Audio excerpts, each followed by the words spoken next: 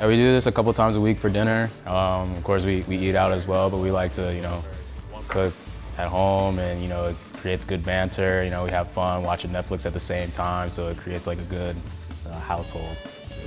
What? oh no. The smoothies, huh? Yeah. It got stuck right here too. Yeah. Team effort between me and Kel uh, for the chicken lettuce wraps. Uh, tasted great.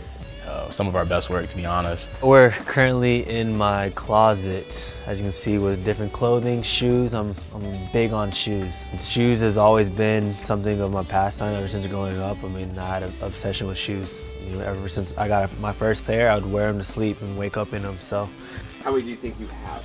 Uh, probably over a hundred at least, and probably under 200.